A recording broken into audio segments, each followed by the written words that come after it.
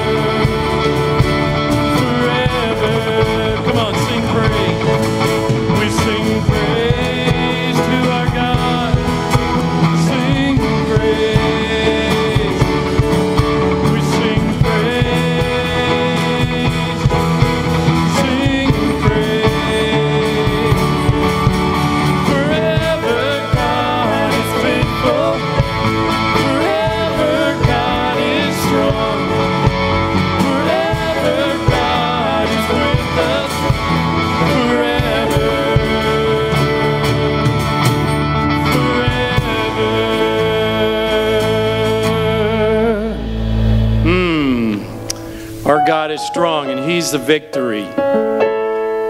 He moves every mountain. And what Satan meant for evil, God can turn for good. If you need a victory today, this morning, this song is for you. It's a new song.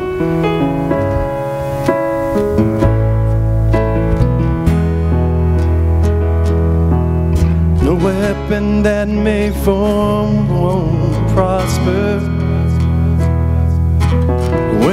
darkness falls, it won't prevail. Cause the God I serve only knows how to triumph. My God will never fail.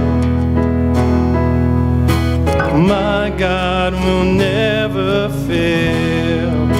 I'm gonna see a victory. I'm gonna see a victory. For the battle belongs to you, Lord. I'm gonna see a victory. I'm gonna see a victory. For the battle belongs to you, Lord.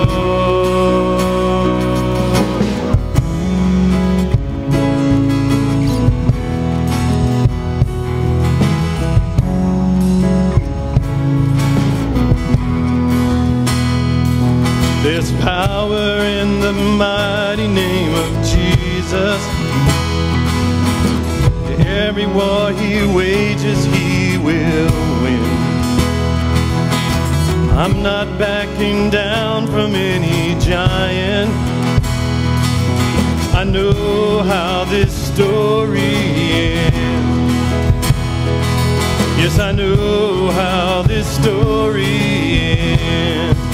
I'm gonna see you victory. I'm gonna see a victory. For the battle belongs to you, Lord. I'm gonna see a victory. I'm gonna see a victory. For the battle belongs to you, Lord. I'm gonna see a victory. I'm gonna see a victory. battle.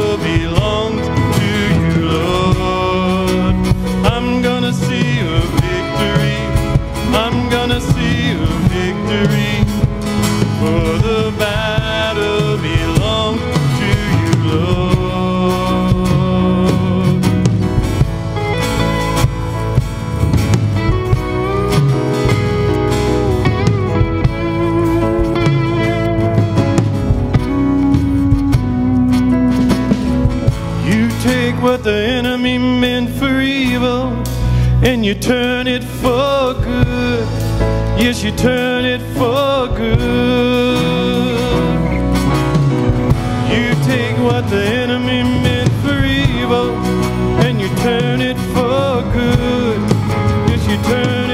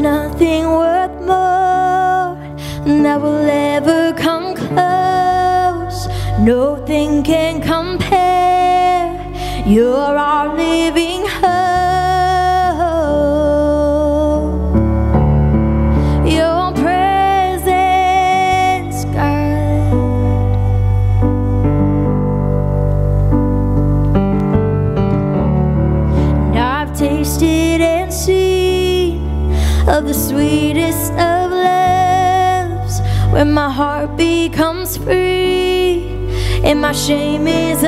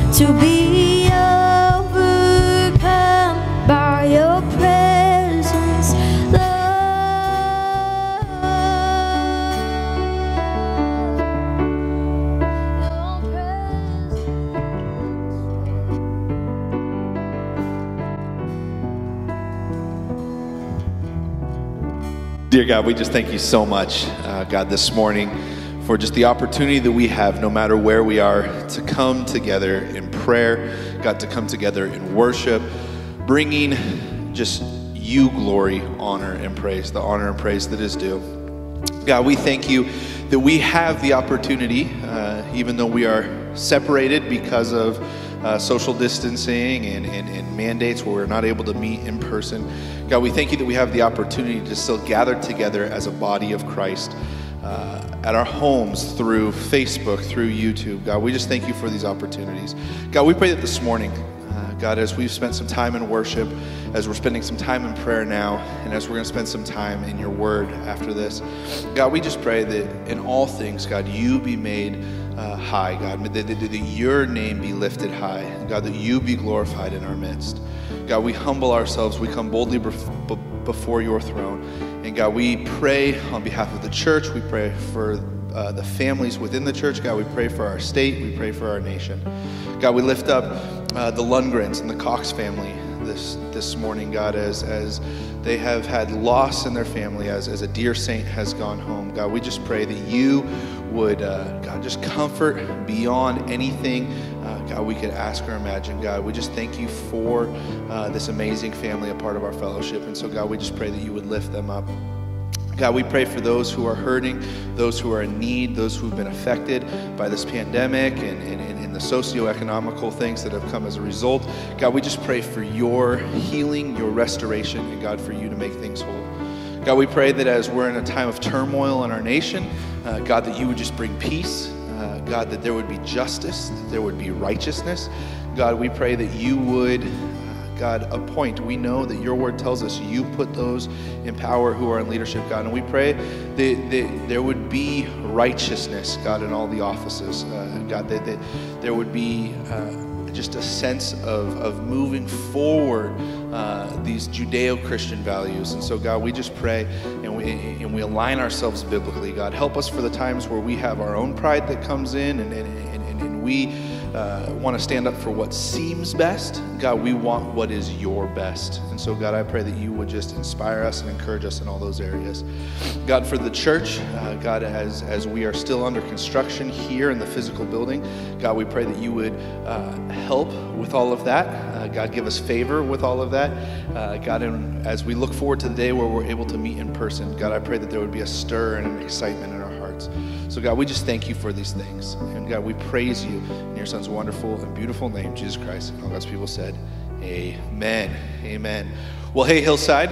If we haven't met yet, my name is Matt. I'm one of the pastors here at Hillside, and uh, I have an announcement. I made the announcement at our drive-in worship service last week, and you've probably seen it on Facebook if we're friends.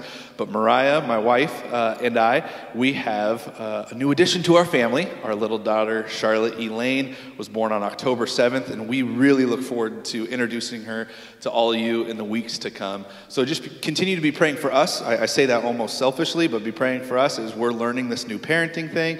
Pray for health uh, for, for our little baby, and we're just super excited about that. We have a couple announcements, some highlights that we want to share with you uh, wherever you're at watching this.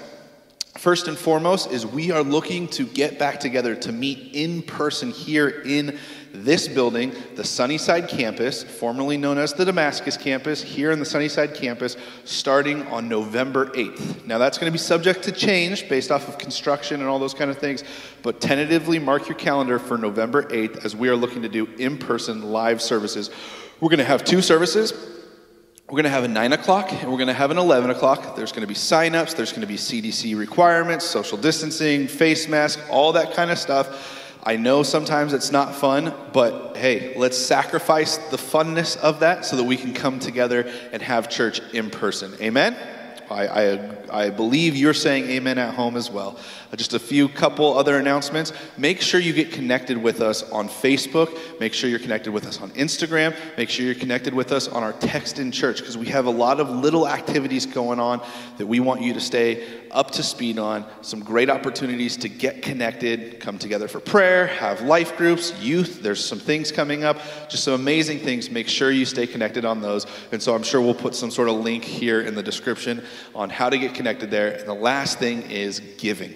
We as a church, we believe in being generous. We believe in giving biblically. Biblically, that means we give in the tithe. It's the first 10% of our increase. It's, it's the first 10% of what we receive, we give back to the Lord because at the end of the day, it's all His. And so we are just honoring what He has commanded us and we are obeying what He has instructed us in Scripture, giving back the tithe. But we also believe in giving above and beyond the tithe. We want to be a generous church, a church that gives hilariously, where people on the outside, they look and they say, those guys are crazy because they're just giving money to needs. Well, here's the reality. We live in a world where there are so many needs, and we as the church, it is our mission and it is our mandate to help in these areas, to bring true social justice, social justice that has the gospel attached to it, and that requires finances. And so we give in alms. It's those monies that come in so that we can help those in our community who are less fortunate. We are connected with so many great organizations, and we as a church, we have started many great organizations, and there's opportunities to stay connected in giving in alms. And we also believe in the Great Commission, and that's the gospel going forth not only here in our city, in our state, and in our nation, but across the world, to the ends of the world. And we as a church, we support over 30 missionaries, and this is a great opportunity for us to come together to really stretch ourselves, to step out in faith, to give above and beyond the tithe, to give in missions. So we want to encourage you let's be a generous church, let's be a faithful church, and let's give with a cheerful heart. Amen? Well, hey, Pastor Dave's going to grab his Bible. He's going to grab his coffee. So I hope you do the same. Hunker in as we're going to continue our study in the book of Acts with these God sized uh, operations. Amen. Hey, good morning, Hillside. Pastor Dave here. In case we haven't met, I just want you to know how much we love and appreciate everyone who's part of our fellowship and those who are joining in online in our online platforms. We welcome you, we encourage you, and we want you to be a part of even our online family. And if when we open our doors, hopefully on November 8th, uh, that you might come and join us and uh, be a part of our uh, fellowship in person. And so we're looking forward to those days. Uh, huge thanks to Pastor Matt and uh, our worship team leading us in worship this morning and prayer. And uh, we're diving into our study again in the book of Acts. We're in Acts chapter 12. So if you want to grab your Bibles and flip open to Acts chapter 12, we'll begin in just a moment. Uh, and while you're doing that, we are in our current series called God Sized Operations. God Sized Operations. And this is really, this is really the third message. It's part two of the third message, and that is uh, uh, God sized uh, or extraordinary operations or extra, uh, extraordinary ops is what I'm trying to say. Uh, extraordinary ops. And so we're looking at verses 1 through 19 this morning. And, uh, but before we get started, I wanted to remind us about a couple of scriptures and a couple of stories in the Old Testament because we really are looking at some supernatural occurrences. And today, the main focus is I, want, I believe that the Spirit of God is revealing something about the condition of the church and then an assignment for the church. And I don't want to alarm you, but I have five things to look at in terms of the condition of the church. And I have 12 things that you and I, on a supernatural level, need to be uh, about. So, yes, that's like 17 points on this morning's sermon. So, haha, buckle your seatbelt and let's get ready to roll. All right, so Remember this, remember this. 1 John chapter 4 and verse 4 reminds us, reminds us that he that is in us is greater than he that is in the world. He that is in us is greater than he that is in the world. So thanks be to God. If your faith is in Jesus Christ today, for the forgiveness of your sin, a supernatural transaction has occurred. God's Spirit has taken up residence inside you. The Spirit of God, God the Spirit. God is dwelling in you. You have become a partaker of the divine nature. Come on, that's epic. Greater is He that is in you than He that is in the world. The He that is in the world, it's the forces of evil. Satan is at the head. Some one third of the angels of heaven, Revelation tells us, went in Satan's rebellion and they are fallen angels and they are reaping havoc in the world. But be of good cheer. Jesus has overcome, and he has caused us to be more than overcomers. So thanks be to God for that. And, I, and I'm reminded, I'm reminded of the story of Elisha, the prophet, in 2 Kings chapter 16. You see, there was an Assyrian army that encircled them entirely, and Elisha's servant went out and looked and saw the vast army. And he came in and he said to Elisha, He said, What are we to do? Well, hey, Romans chapter 8, verse 31, listen to this.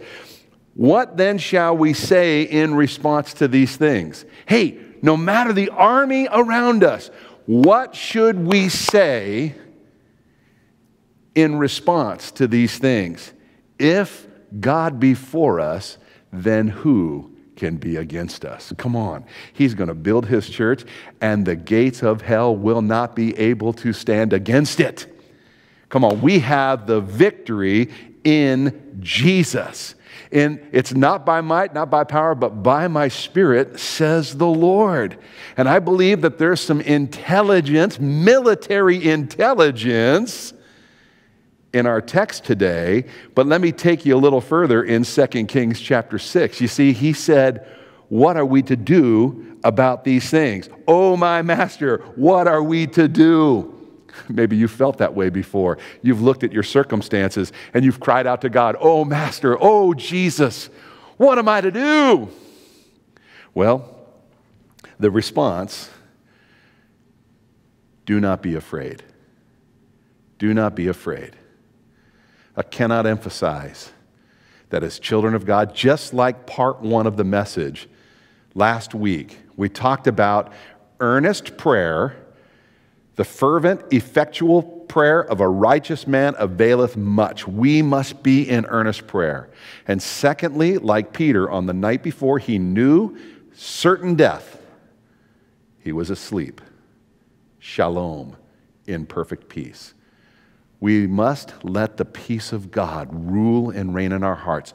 Do not be afraid. Do not be afraid. That's what the, that's what the prophet said. And then he said these words For those who are with us are more than those who are against us. And you, you know the rest of the story. He prayed that the eyes of the servant would be open, and as his eyes were open, he saw all around on the hill angels on chariots of fire. Come on, this is epic. Second Kings chapter 9, er, Second Kings, that was Second Chronicles chapter 6. Second Kings chapter 19 tells us in detail what transpired, and there was earnest prayer that night, and Hezekiah the king, no, that's a different story. Uh, there was earnest prayer that uh, eyes would be opened, and his eyes were opened, and again, there was more with us. And again, let me tell you the next story. The next story is absolutely radical. Second Chronicles chapter 32, verses 7 and 8.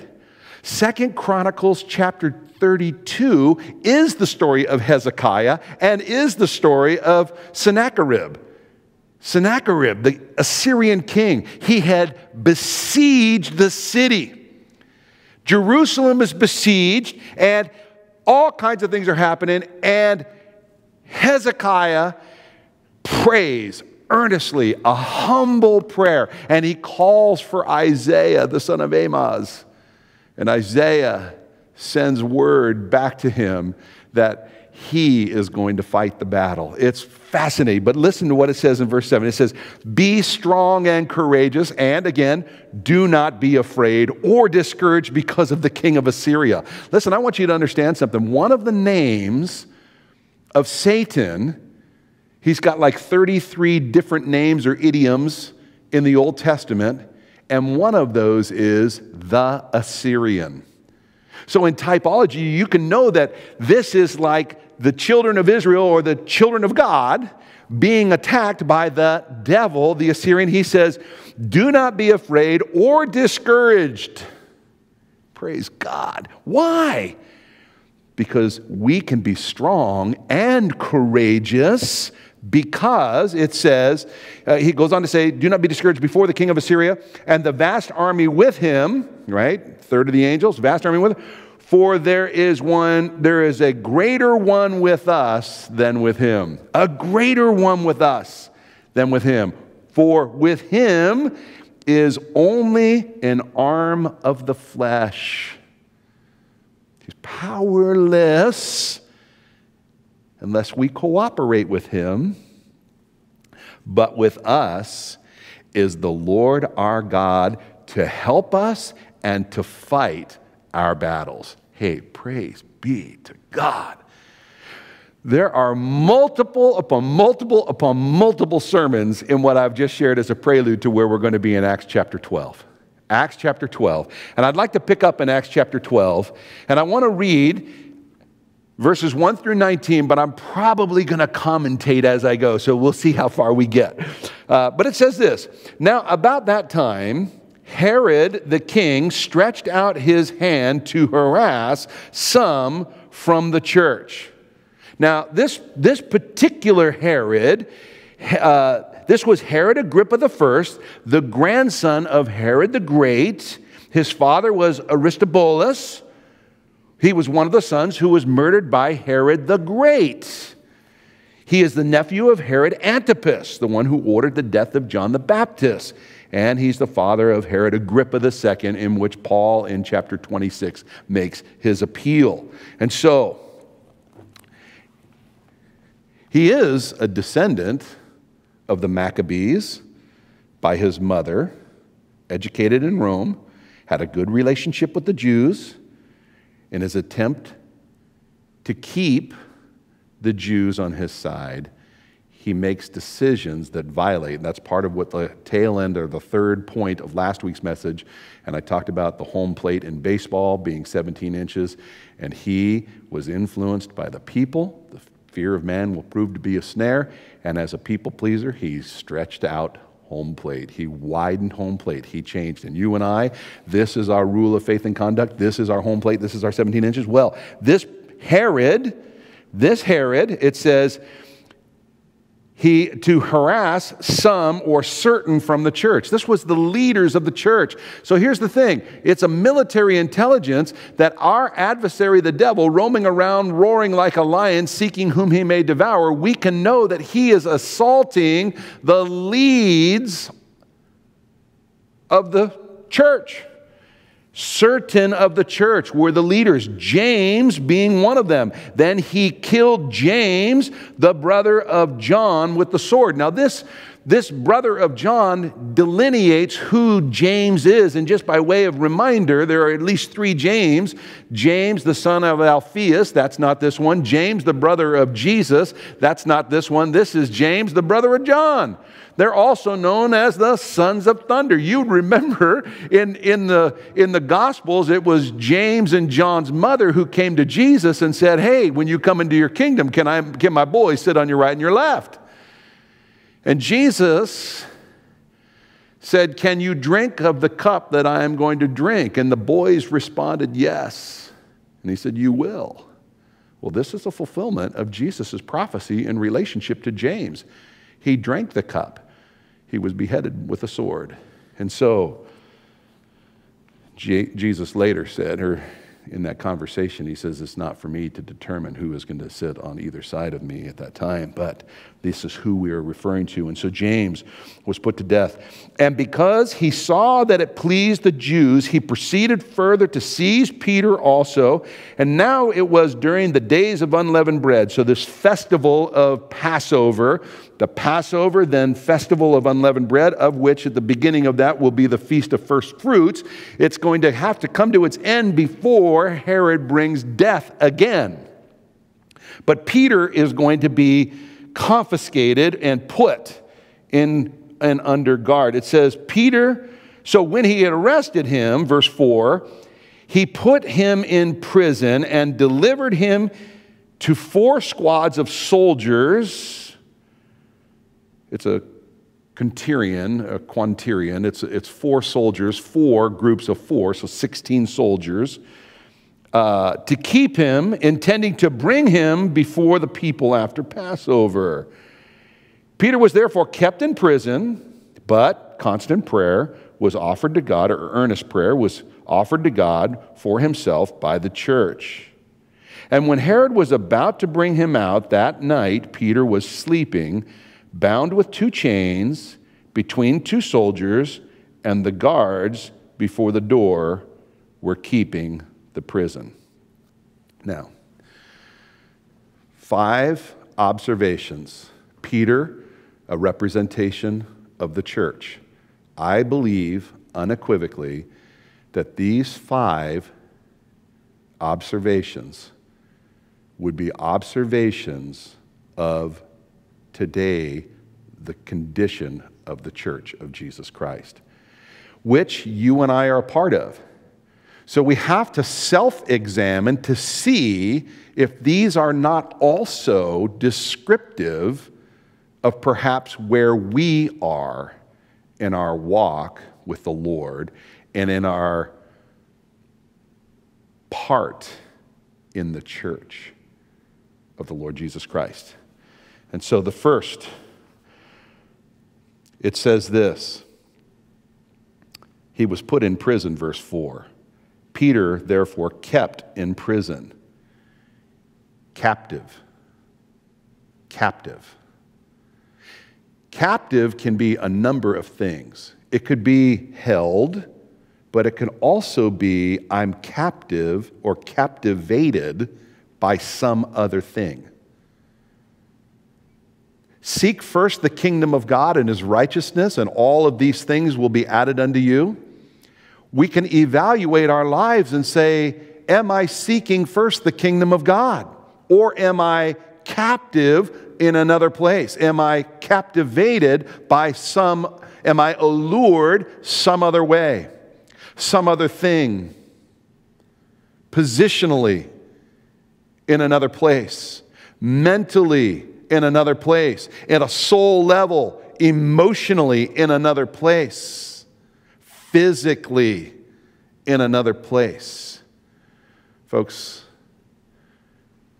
kept in prison are we captive by the one who is in the world? Okay, the second observation threatened. We are in a threatened state. The evil one has come but to kill, steal, and destroy. That is a death threat on your life and on my life. He has come to destroy everything in your life and you and everything you hold near and dear. Listen, when Ben Hadad in the Old Testament came to Ahab, he said, Give me all your wives and your children and your silver and your gold. And Ahab's like, All right. And then he said, Oh, the king said, All right, great. Tomorrow we're going to come and we're going to go through your house, and everything that is dear to you will be ours. That's what the enemy wants to do. He wants to take and destroy everything that is near and dear to you. That's a threat. It's a threat. And the threat was that Herod was going to bring Peter out and take his life. That's what the enemy wants to do. He wants to take you out. He wants to take you out. Third condition. Now, I'm going to say what this is, and then I'm going to have to recap from last week. But Peter was asleep. Now, last week, I likened that unto the place of being at peace. Today, I want to use that understanding of just asleep that the church is in a lulled state. We're asleep, we're, we're, we're unwise, we're uncertain of the times that we are living in. Do we realize that Jesus Christ is coming soon? Jesus is coming soon. We must be about our Father's business. And what are we doing? Seems like so often the church is just spinning its wheels. The churches in any given community are not collaborative together with a vision and a mission of how to reach every house, every home, every man, woman, and child with a clear presentation of the gospel of Jesus Christ. Oh God, help us and wake up the church. We talk about revival. Folks, we need an awakening before we can have a revival. We need an awakening. I guess they might be one and the same, but at the end of the day, the church needs to get up Get up. What about you? Are you awake? Are your eyes open? Is your head up? We must have our eyes fixed upon Jesus. Listen, I, I love, you know, when you walk in uh, to the Sistine Chapel in Rome, you cannot help but do this. And you'll begin to do this. And for as long as you're in that chapel area, your head will be looking up. And I believe that that is the state that the church needs to be in. We must have our eyes up, looking to the Lord, looking toward heaven. The Bible says, Look up, for redemption draweth nigh. Jesus is coming soon. We must be awake. Okay, number four, bound. Bound. It says, he was in bondage with shackles, fetters, chains between two common soldiers, two guards. And, and that prison, by the way, is a dark place. That prison, by the way, is uh, it's a closed room made of stone with a door that's solid. He's kept in prison and he's in bondage. Listen, we may be captivated, and some of the things that are captivating us may, in fact, be a bondage for us. Are you bound by something? Are you bound maybe by some sin? Are you bound by some fetter that's holding you fast? Look, God wants to cut the cords that hold men fast to sin. Oh Lord, set us free. Hey, He has, but the church remains with the chains upon them. Bondage. And then the fifth is, I would say, in a state of watched and guarded. And why do I say that? Because the text tells us this it says, He was kept in prison. Then it says, uh, He was bound with two chains, which I would say the bondages in the lives of the followers of Christ today in the church may be multiple. Maybe multiple. May not be just one, it may be many, many forms of bondage. Okay, two chains between two soldiers and the guards before the door. Right? So the, he's, he's bound by two men who are certainly keeping him, then he's being watched by others who, if something happens here, they can step in and ensure that there's no freedom.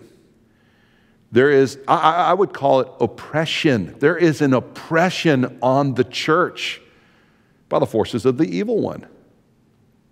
We've forgotten the greater is he that is in us. We have forgotten that the battle is the Lord. We have forgotten that we're not to be afraid. We, are, we have forgotten to take courage, be of good cheer. We have forgotten all of those thoughts. Listen, what did Moses tell the children of Israel when they turned around at the Red Sea and they saw Pharaoh and all of his army and the chariots coming after him? He said these words Do not be afraid, stand firm, and you will see the Lord's salvation.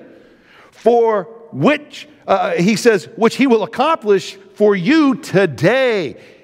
The Egyptians you see today, you will never see again. We, we got to realize, he said, I have given you authority to trample upon snakes and scorpions and all of the power of the evil one, nothing shall harm you. Come on. These five states of the church today, we got to shake that stuff off. We got to break that stuff out. We got to, in the power of His might, say, No, I'm going to live according to the promises that Jesus has apprehended for us. Jesus has apprehended them. In Him, all of the promises of God are yes and amen. So, what's our response? Now, this is those five. Now, what's our response? Watch. This is, I believe this is powerful. Okay? Listen, I'm going to read the text a little further, and let's pick up what the church's response is. Watch what Peter does. It says this Herod, verse 6, was about to bring him out. That night, Peter was sleeping, bound with two chains between two soldiers, and the guards before the door were keeping the prison. Now, behold, now, behold is an epic phrase, idou in the Greek, idou in the Greek. And it, it's used very, very specifically at the end of a narrative. And it's introducing something that is like, see this? Boom! It's introducing something new, dynamic, and if I could use this word, epic in proportion. Lo, see, behold. Now, see, now, behold, look. Yes, all of that stuff. Terrible, terrible situation. This narrative of Peter, he's going to die. But, behold, but God, and this is a but God statement. And what I love about this is it's used in introducing something. And what it's introducing is both unexpected yet certain, and it is impossible yet occurs. Unexpected yet certain, impossible yet occurs. Folks, no matter where you are, no matter even the, even the state of the church. Listen, I believe the unexpected certainty and the impossible will occur in your life and in my life. Let's apply what Peter does. Now, behold, an angel of the Lord stood by him the angel, this, this, this word stood by, it, it, it's, it's, like, um, it's like he was standing there, but now he has presented himself. He's, it's like the veil has been opened up to now he's visibly seen. He's been there, but now he's visibly seen. He's presented himself. And it says, the angel stood by him, and a light shone in the prison and he struck Peter on the side. First point of the 12 be awakened. If you've been lulled, in prison, kept, all those five conditions, be awakened. Feel the striking of the Lord. God, God might be slapping you right now, and I mean slapping you in a good way, not across the chops, but He's hitting you in the arm. He's nudging you. He's giving you the shove. He's cattle prodding you, the spiritual oomph of God. It's an unction, and He's waking you up. Be awakened. We must be awakened. And He goes on to say, and He struck Peter on the side and raised him up, saying, arise quickly. We must be standing. Get up. We got to get up. Get off the ground, get off the seat, get the lead out. Get up. So, be awakened, be standing, and watch what happens. And verse 7 goes on to say, his chains fell off his hands. Be loosed. Whatsoever we loose on earth shall be loosed in heaven, and we have been set free. We have been loosed. The power of the evil one is not over us. We have diplomatic immunity. We are citizens of heaven. We are Christ's ambassadors representing him. You and I, we have diplomatic immunity from the power of the evil one, all of the power of the evil one. Let's walk in that.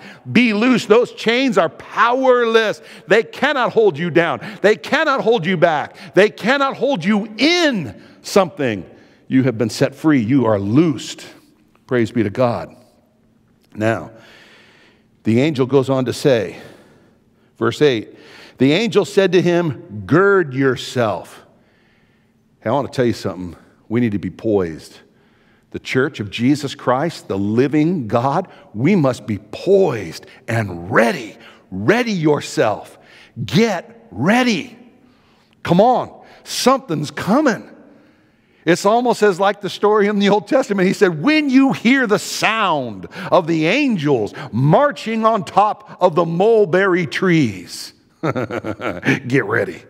Get ready. Man, the church we must be ready for the work of the Lord. Be poised. Listen, I played football a lot of years of my life, and I coached football a lot of years of my life, probably 24 years total included in my play time and my coach time. And I want you to know something. There's something about being poised. And we tell our, we, I would tell the players, the old line, look, you got to be poised. You got to be ready. It, it, it, the play doesn't start when you get to the line of scrimmage and put your fingers down on the ground and in your, in your stance. The play starts when you're in the huddle.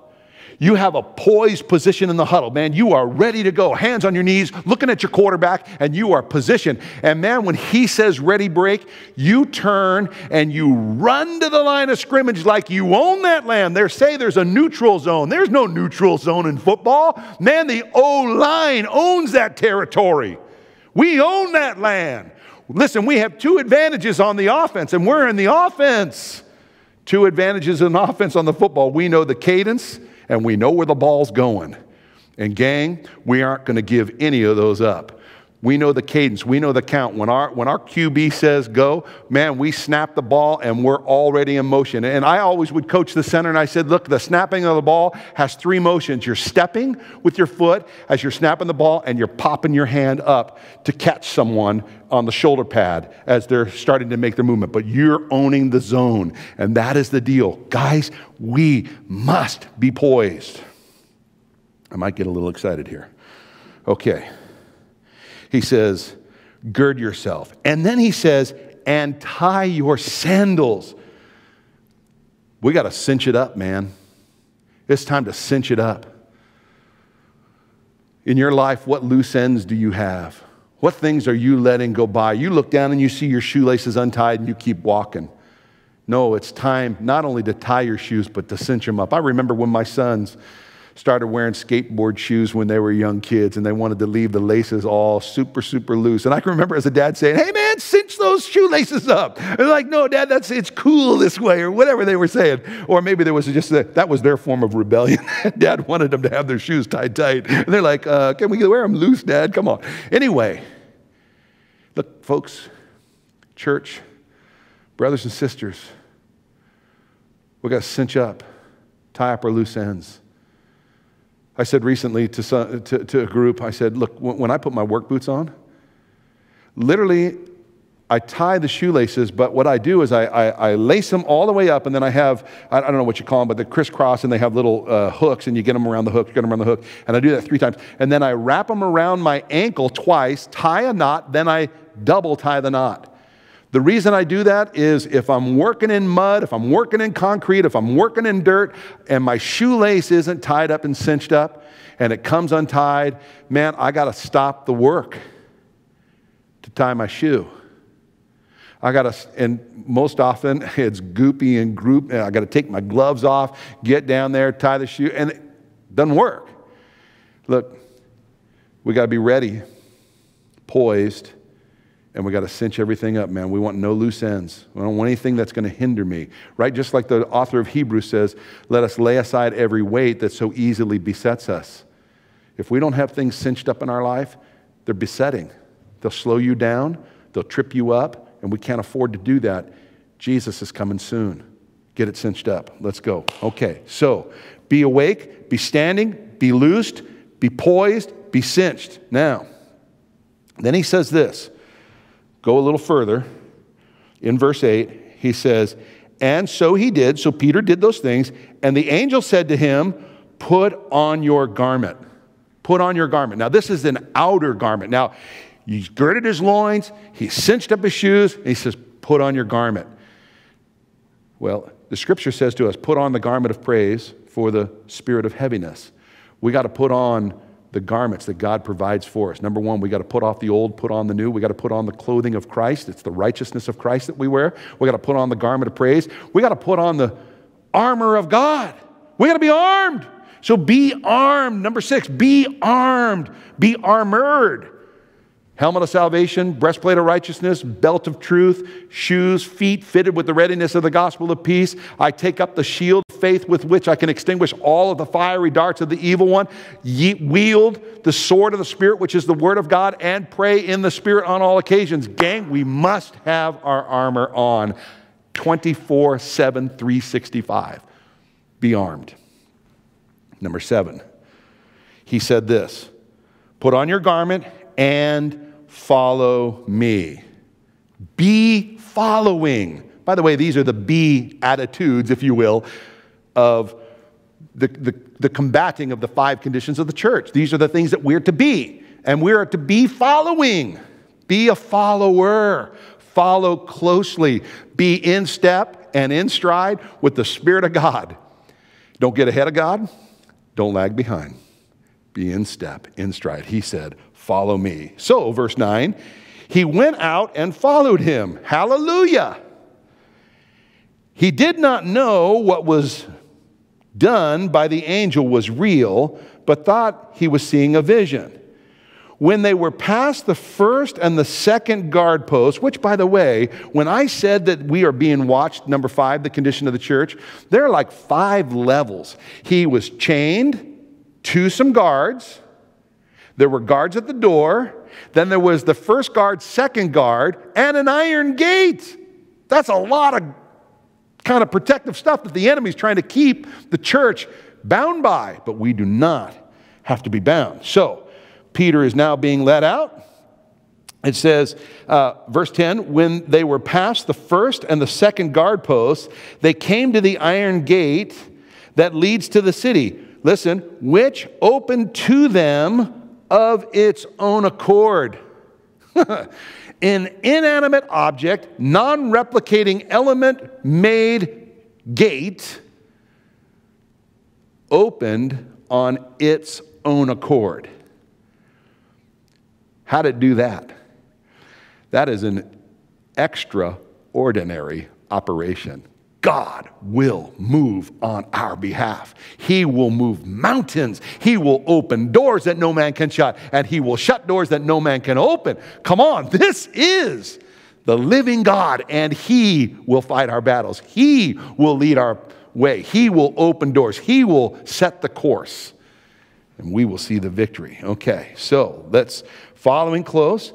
Then it, it goes on to say, uh, they came to the iron gate, which leads to the city, which opened to them of its own accord, and they went out and went down one street, and immediately the angel departed from him. And when Peter had come to himself, he said, Now I know for certain that the Lord has sent his angel and has delivered me. Be delivered.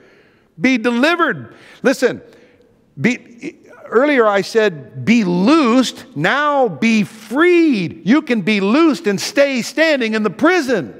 You don't need to stay there. Get out. Get out. You've been freed. You're a free man in Christ. You are Christ's freedmen. And let's get out and get out there. Hallelujah.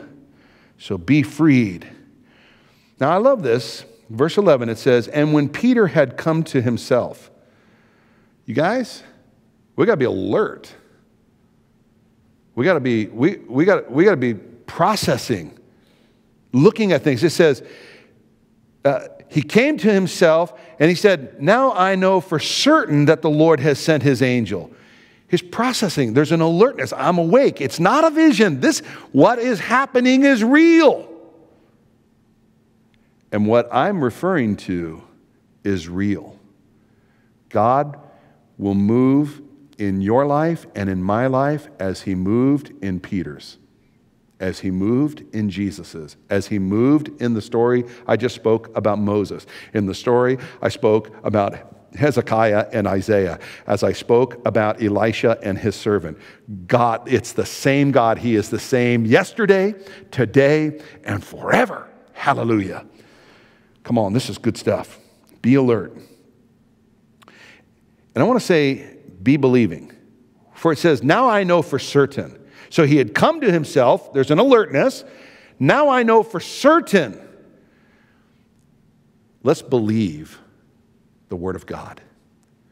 Believe the Word of God, not mental assent.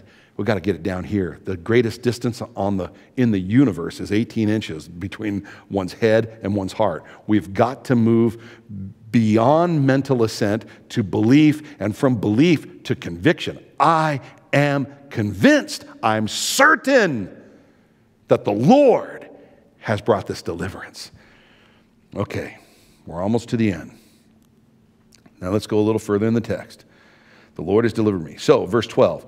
So, when he had considered this, again, that alertness, he came to the house of Mary, the mother of John, whose surname was Mark, where again many were gathered together praying. Last week's message. And as Peter knocked at the door, now, I, want you, I just want you to get this contextually. Uh, he's knocking at a door, and he's literally knocking at a door. It's a, it's a walled uh, compound, if you will, with a house inside, Mary's house, uh, and there's a gate, and it's a solid gate, and he's knocking on the door. But what I want you to be thinking about is what Jesus said to you and I, and to all of his believers and all of his disciples. He said, Ask and it shall be given to you. Seek, and you will find. Knock, and the door will be opened to you. I, I, we need to be knocking on heaven's door. Church, we need to be knocking on heaven's door. We need to knock, knock, knock, knock, knock. I love that on the other side of the door, they know who's knocking. Not everybody knew. Not everybody knew, but in our case, when we're knocking, heaven knows who's knocking on the door. You and I, let's knock. And here, watch what happens. It says this when uh, it says, uh, and as Peter knocked at the door of the gate, verse 13, a girl named Rhoda came to answer. When she recognized Peter's voice, hey, heaven is going to recognize your voice. I love that recognized her because uh, of her gladness she did not open the gate but ran in and announced that peter stood before the gate but they said you're beside yourself are you crazy yet she kept insisting that it was so. I love that also. There's just in it a persistence and insistence and that's what peter does. Watch what happens. Verse 16 uh, they said it was his angel. Now peter continued knocking.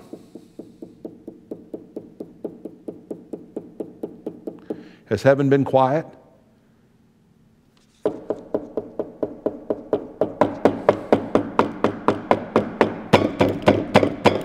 We got to keep knocking.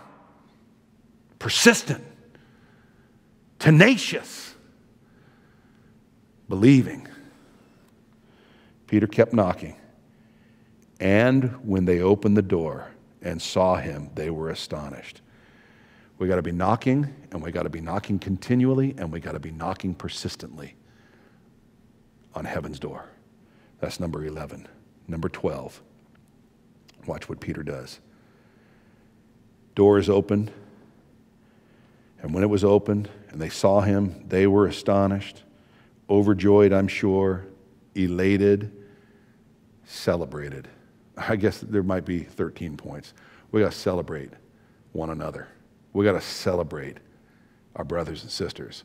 When a prodigal go, comes home, we don't have to ask him what he's been up to, why are you doing all that stuff. We don't have to drill him. We don't have to do any of that kind of stuff. We celebrate him.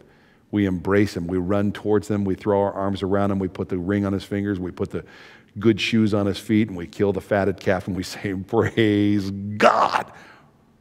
My son, the, our brother that was lost has been found.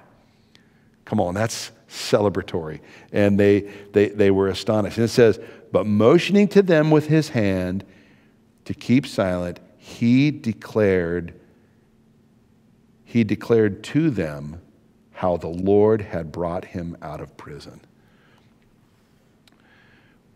In the church, we need to be declaring to one another the victories of the Lord in our lives.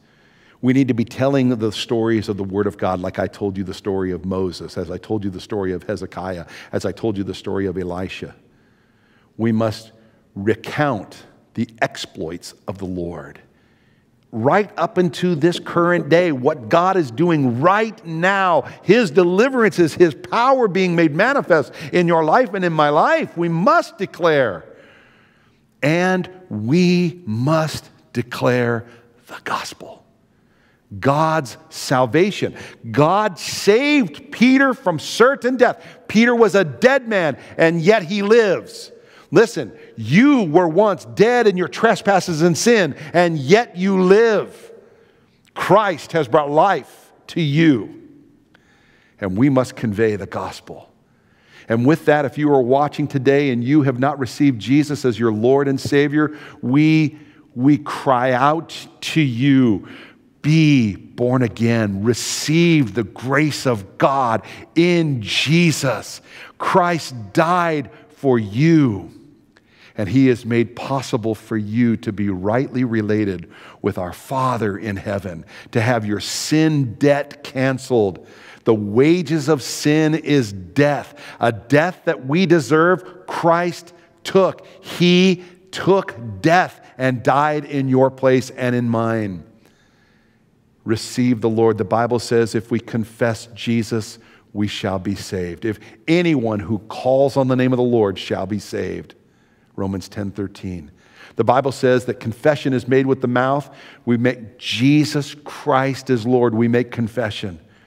And belief is in the heart, believing that God the Father has raised him from the dead, that God has raised him from the dead. We shall be saved. Oh, we cry out to you when we I use an old term, we beseech you. Do not harden your heart today. Receive Christ now. Make that declaration. Make the declaration with me. I confess I'm a sinner. Oh God, thank you for your plan of salvation. I receive Jesus as Lord and Savior. Jesus is Lord. Jesus is Lord. And I believe in my heart that God, you raised Christ from the dead. And I thank you for the forgiveness of my sin. I thank you, God, for the canceled debt that I owe. I thank you, God, for the gift of eternal life. And I thank you that my name is written in your book. Listen, and we pray that in Jesus' name. And if you prayed that prayer, we want to welcome you to the family of God. Thanks be to God. We welcome you. If you live in the Clackamas area, we encourage you to come and be a part of our fellowship. If you're living in some other area, let us help you find a church. You can contact us at info at hcfclackamas.org, and we will find a church that is a Bible teaching church in the community that you live in, and we'll help you get connected. Our desire is that you would grow in the grace and knowledge of our Lord and Savior, Jesus Christ. And so, all those things being said, to the rest of the church, hey, the condition of the church is those fivefold dispositions and uh, from, from being uh, captivated, from being in a uh, threatened, asleep, bound, and watched state, we can actually live in those 13 different dispositions. And I want to encourage you, as a member of Hillside Christian Fellowship, to walk in that newness and walk in the power of the Lord. The Lord bless you and keep you. The worship team is coming back in just a few moments, and they're going to lead us in this final song. I just want to say a quick word of prayer, and they'll come back and we'll uh, close with a worship song. And Pastor Dennis will close us in prayer. Father, in the name of your Son Jesus, I thank you for this fellowship. I thank you for our body of believers. And I pray, God, that we would not be in those five states of the church, but we would be experiencing these other 13 scenarios, God, where we can be walking in the newness and life and freedom that, God, you have provided for us, poised and ready to go, fully armed and ready for the battle. Thank you, Lord, that your word declares greater is he that is in us than he that is in the world. We need not be afraid, but be of great courage. The battle belongs to the Lord, and he will go out and fight our battles. Father, we thank you in Jesus' mighty name. And all God's people said a strong amen. The Lord bless you and keep you. Amen.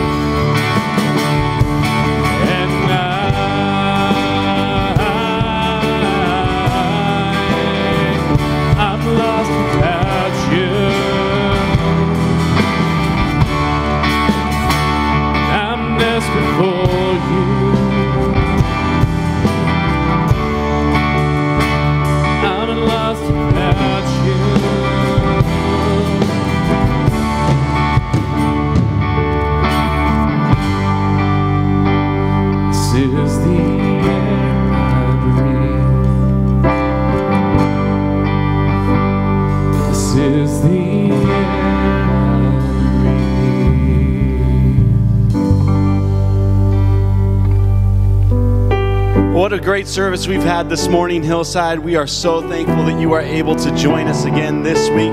We look forward to seeing you again very, very, very soon in person. It's coming up, so be ready. Enjoy the week and tune back in next week for a great Sunday. God bless.